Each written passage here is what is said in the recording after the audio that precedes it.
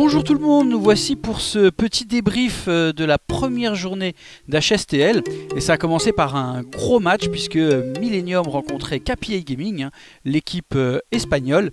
Et donc là vous pouvez voir Felkane hein, qui jouait le troisième match. Là on le voit tout heureux, euh, expressif on va dire, face à Jengis. Donc là on voit le petit Necro Tracker qui évidemment clean la combo de Jengis et euh, d'ailleurs euh, qui va permettre à Felkane de s'imposer sur ce match. Alors c'était le troisième match. Dans le premier match, il y a Phénoméno hein, qui jouait directement de Montréal puisqu'il quittait à peine euh, la DreamHack et il s'est incliné 3-2. Mais par contre, 10 Demon s'est imposé 3-0 et Felkane de même. Donc là, vous allez voir encore un petit coup, un petit highlight qui va le rendre tout joyeux, un petit Evolve dont il a le secret. Et là, au-delà euh, de ce qui sort, en plus euh, la savane qui se retrouve gelée. Et ça fait même rire Jet Jeans, donc on pourra euh, remarquer le fair play du joueur espagnol. Donc voilà, ça s'est bien passé pour Millennium pour ce, premier, match. Je rappelle qu'ils ont l'obligation de jouer avec deux joueurs français. Donc Felkane et Disdemon seront toujours de la partie. Et puis cette fois-ci, c'était Feno, donc 2-1.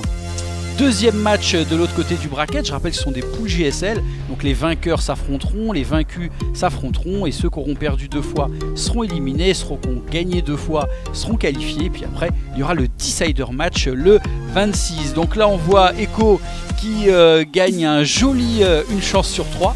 Euh, avec son Huffer au grand dame de, The Vipers, tout qu'il y avait 2-2 dans ce match là. Donc évidemment, euh, victoire de la part d'Icorp sur ce premier match. Et sur le deuxième, vous allez voir un petit euh, Kokov versus Ignite avec... Euh, allez, je vous, laisse, je vous laisse regarder le play et surtout regarder la réaction d'Ignite. Donc Kokov qui n'était pas spécialement dans une bonne situation hein, quand on a deux points de vie comme ça. Et là, il nous sort la play envahissante qui lui permet de faire full board de taunt et Ignite qui se retrouve euh, bah, dépossédé évidemment euh, de son euh, létal et Icorp qui s'est imposé 2-0. Là on passe à la deuxième soirée. Donc le premier match c'était les Bigenius que vous connaissez bien, l'équipe française face à la Team Clash.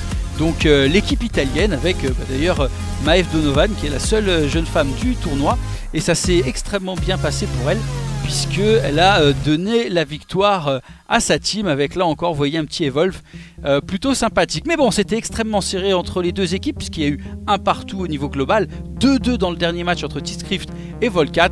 Et là, vous voyez un Volcat heureux et ravi de donner la victoire à son équipe, il exulte de joie. Et là, vous voyez le létal qui est là avec le petit coup de Gul'dan pour finir T-Script et Bigenius bah, qui commence relativement mal puisqu'il commence par une défaite, c'était chaud. En tout cas, le joueur italien qui est ravi et on va d'ailleurs les revoir bientôt. Ah oui, j'avais même pas vu, il a voulu nous faire un petit dab à la caméra. Le... Voilà, on, voit l'expression. Et donc le, dernier match de cette première journée, donc les joueurs belges de Sector 1, alors qui sont un peu les favoris de la poule, mais c'est vrai qu'Arnige étant en Chine n'a pas pu jouer. Donc euh, bah, ils ont dû jouer un petit peu sans leur euh, capitaine, mais ils se sont plutôt euh, bien débrouillés face à une équipe My Virtual World qui était... voilà, on sentait que les compétitions internationales, ils ont un peu moins l'habitude, ça cafouillait un petit peu de temps en temps.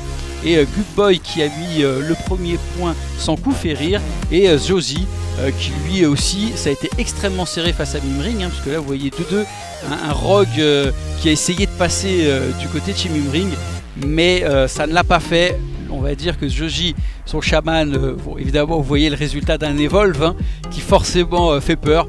Et euh, Mimring qui s'incline sur le score de 3 à 2. Donc c'est pas passé loin. On a senti, comme je disais tout à l'heure, quelques petites approximations. Mais voilà, c'est en forgeant qu'on devient forgeron. On va voir ce qu'ils vont nous donner cette semaine. En parlant évidemment de cette semaine, et ben là on voit le bracket, donc Millennium qui va rencontrer eCorp Gaming, les deux équipes euh, vainqueurs avec eCorp qui a été extrêmement solide, Team Clash qui va rencontrer Sector 1 et dans le match loser bracket, KPI Gaming versus Force the Win et de l'autre côté BG News versus MVW. Ciao bye bye